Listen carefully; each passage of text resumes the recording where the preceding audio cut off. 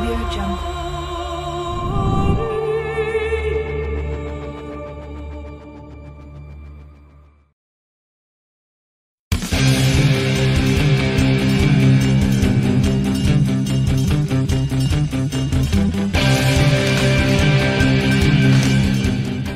Bienvenidos al Jardín de Nurgle y hoy ya tenemos aquí el número 69 de Mortal Realms, el cual nos habla de Stirland, eh, nos trae el Stirland Mood y el Ciel, descubre los hechizos permanentes y reglas para librar batallas en sí.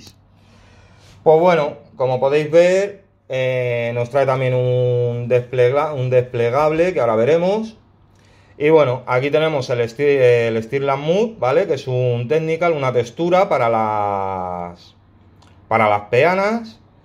Y el Storm Ciel, que es para, es un barniz, ¿vale? Con mate, para una vez que tengamos terminadas nuestras miniaturas, pues poder barnizarlas. Vamos a pasar a ver primero el, el desplegable, el cual nos habla de las magias, ¿vale? En este caso de los hechizos permanentes, el cual, pues bueno, nos habla de magia del caos, nos mete la de Zens y la de los Scavens, pero faltaría la del Lanes, por ejemplo, faltarían algunas. Luego la magia de la luz, que es la de Lumine. Luego tenemos la magia ámbar, que nos mete el Revenants, las bocas estas, vamos. Ahora no... Eh, Luego tenemos también, nos habla de la magia dorada y de la magia del vacío. Estos son todos hechizos permanentes que venían en Malin Sorcery, ¿vale? Luego tenemos la magia gris que nos mete la de hijas de Caín. Luego magia viviente, en este caso el sol púrpura de Sis. Magia celestial, que en este caso nos mete la de este que pertenecería a los Storkas Eternal las Chronomatics, el Emerald Life Swarm y, esta que pertenecería a Sylvanet, ¿vale? Estos dos son también de Malin Sorcery. Y luego nos pasa aquí a la magia matista que nos mete la, estampida de los Fligiter Kurz, nos mete el de, de, Burning Head, en este caso el, este es de, lo, de Malin Sorcery, la guadaña esta también es de, de Malin Sorcery. Y el Molten Inferno que pertenece a Fire Layer. ¿Vale? Pero aún así siguen faltando muchísimos hechizos permanentes. Los cuales, pues me imagino que nos meterán otro, otro desplegable de estos con el resto de ellos. Pero más o menos para que sepamos pues lo que pertenece a la magia celestial y esas cositas.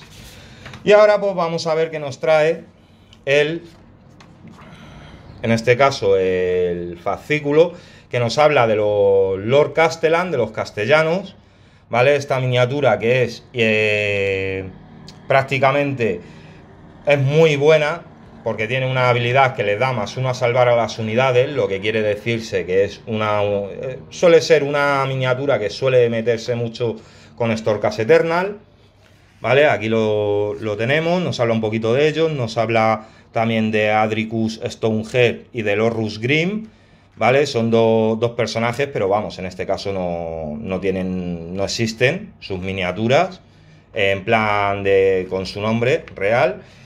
Y luego la franja siempre verde, ¿vale? De los reinos. Nos sigue hablando de la era del caos, pues bueno, pues de este, de este, esta historia, ¿no? Pues que si Nurgle, pues sigue detrás de de Girán, pues intentando conquistarlo. ¿Vale? Luego lo que. las historias que fueron en la era de Sigmar. Y luego ya nos habla de, en este caso del orden, nos mete a Teclis. Ya nos empieza a hablar de Teclis, quién es Teclis, el hemisferio ticliano, ¿vale? Está dividido en dos, está en la parte de, de Teclis. Y luego la creación de los Sidones, que fue eh, la primera raza que, creó Teclis. Y luego la iluminación de Teclis, o sea, luego ya salió Teclis eh, y luego pues detrás de él lo que conocemos ahora ya como los, los Lumines, ¿vale? Nos habla aquí de, alguna, de algunas miniaturas de los Lumines, las Catalars, los Alarites Stone Magos y luego nos habla de Lania, ¿vale? Que esta es la de las últimas miniaturas que han sacado que va encima de, del hermano, ¿vale? Que está aquí debajo. Pues también para que sepáis quién es. Y luego pues nos viene pues un paso a paso de cómo pintar las Sinmarite Ruins, ¿vale? Ya con las pinturas que ya tenemos, pues por si acaso no habéis terminado de pintarlas, pues para que podáis continuar pintándolas. Y así sería pues como quedaría más o menos tal con el paso a paso que nos indican aquí. Y luego cómo pintar con el Storm Shell. Una idea para ya para que todos aquellos que ya tengáis vuestras miniaturas terminadas, pintadas, pues cómo aplicarlo, ¿vale? Te dice que humedezcas el pincel, que no se te quede aquí con la gotita y luego pues que lo tienes que aplicar directamente del bote, ¿vale? Hay gente que a lo mejor lo mezcla un poquito con agua, pero vamos, por lo general ¿Cómo no debería de quedar? ¿Vale? O sea, demasiado Storsiel aplicado, pues como veis, se queda engrosado, estropea mucho la miniatura, ¿vale? Y luego, pues, si tienes que pintar por encima, pues cómo hacerlo. Y cómo serían las miniaturas, como, uy, perdón por ese movimiento, cómo quedarían, cómo quedarían las miniaturas una vez terminadas ya con el Stone Seal bien aplicado. Luego nos habla de sí, del reino de la muerte, ¿vale? De lo que son pues sus lo que son los rasgos que tiene si juegas en el reino de la muerte. Que esto no sabemos si cambiará en la tercera edición, ya veremos. El tutorial de cómo usar estas magias, o sea, estas habilidades del, del reino de Sis y luego el tutorial de táctica, la pantalla de carga, o sea, eh, como esto está muy bien para que sepáis, pues, a lo mejor, algunas tácticas para defender algún héroe o cualquier cosa, cómo poder hacer pantallas. Esto está muy, está muy bien, os recomiendo que lo leáis. ¿Vale? Y luego lo que sería una defensa agresiva. Son tácticas, pues a la hora de jugar, que bueno, te intentan enseñar. Perdonad si se mueve un poquito el móvil, o sea, eh, la pantalla, pero es que estoy, estoy probando a grabarlo de, otra manera y estoy viendo que, que no es que se mueva mucho, pero sí se mueve todavía. Entonces tengo que... Voy a tenerlo que grabar de, con la otra, de la otra manera. Luego regreso de la muerte. Nos sigue hablando aquí y bueno, como siempre, pues ya por dónde van las incursiones de todo de cada uno de los ejércitos con sus tropas ¿vale? Que ya pues quedan pocas miniaturas por, por meter.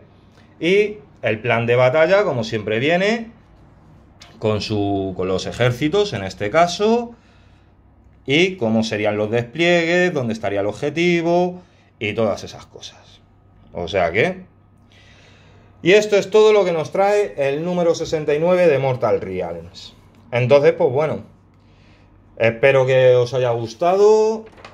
Y como siempre, pues nada, si, si os ha gustado, darle al like, si no estáis suscritos, suscribiros, darle a la campanita y compartir.